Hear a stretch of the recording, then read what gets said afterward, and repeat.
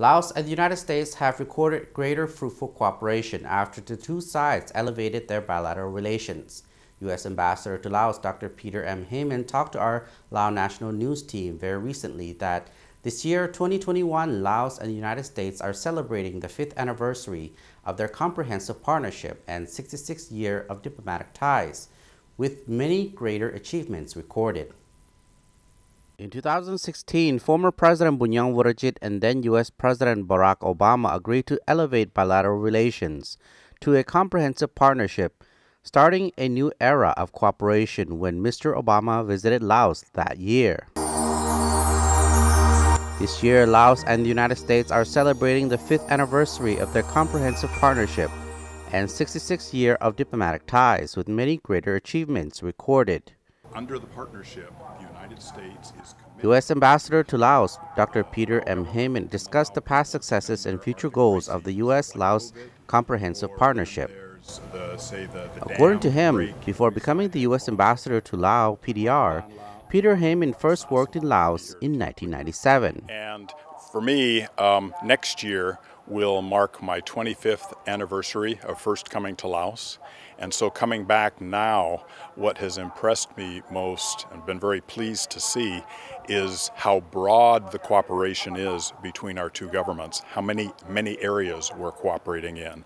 And I believe that is due to the comprehensive partnership over this past five years. We asked what are some of the main pillars of the Laos U.S. Comprehensive Partnership Uh, so I'd far. to say uh, one is probably development assistance through USAID, and USAID really started its programs since the beginning of the comprehensive partnership. And now AID is providing assistance in health and education and nutrition and energy and business environment. And So far, the biggest cooperation and assistance project is likely to be the Unexploded Ordnance, or UXO, left during the war.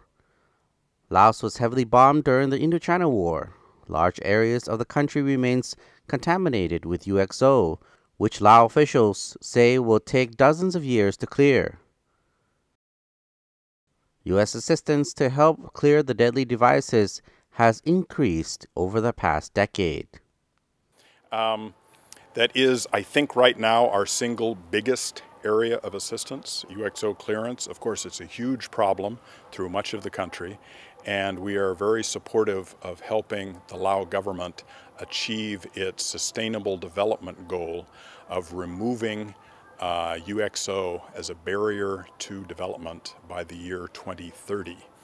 And when President Obama came to visit in 2016, he pledged a contribution of $90 million over three years, so about $30 million a year, uh, which we did provide those next three years.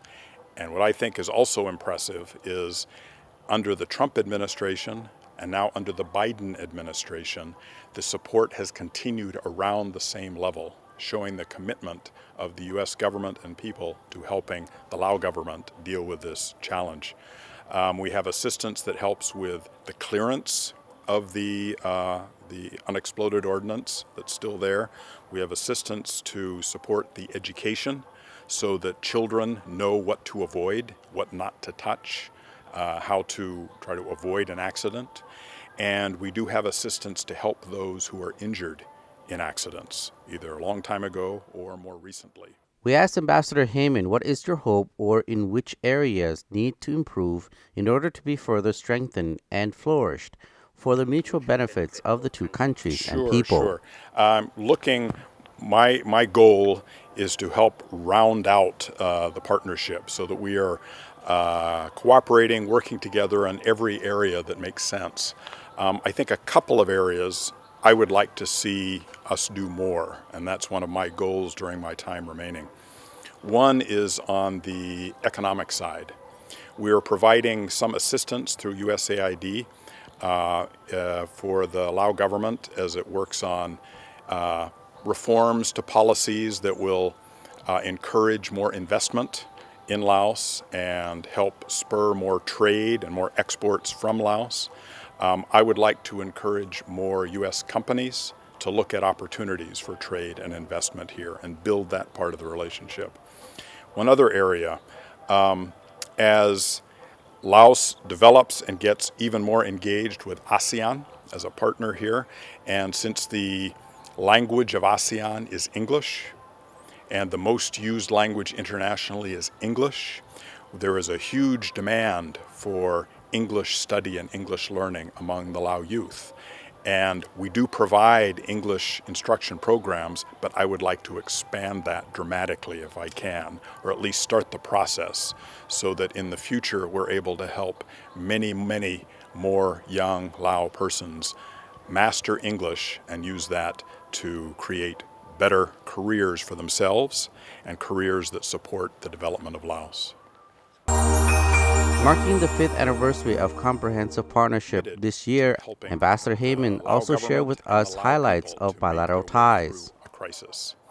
And for me, the last couple of years, highlights for me have been, I'd say, going out and seeing all these new USAID programs in the provinces, see how they're helping people improve their lives, school children eating meals, um, young children learning to read Lao when Lao might be their second language because they're an ethnic minority, or um, uh, a particular favorite for me was our new program supporting the UNESCO World Heritage Site at the Plain of Jars, the newest World Heritage Site in Laos, one that I have been a fan of for many, many years. And I'm so pleased that this past year we've been able to provide some assistance to make sure that that place, that wonderful place, uh, amazes tourists and the Lao people for many years to come.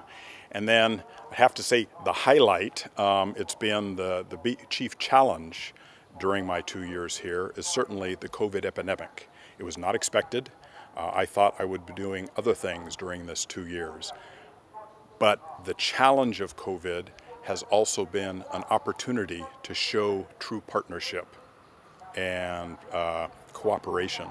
And we are very proud of our cooperation with the Lao Ministry of Health and other ministries to provide assistance to the ministry directly or through UNICEF and uh, the World uh, Health Organization and to provide vaccines to help protect the Lao people. The year 2021 marks the 66th anniversary of the establishment of diplomatic relations between the Lao PDR and the United States of America.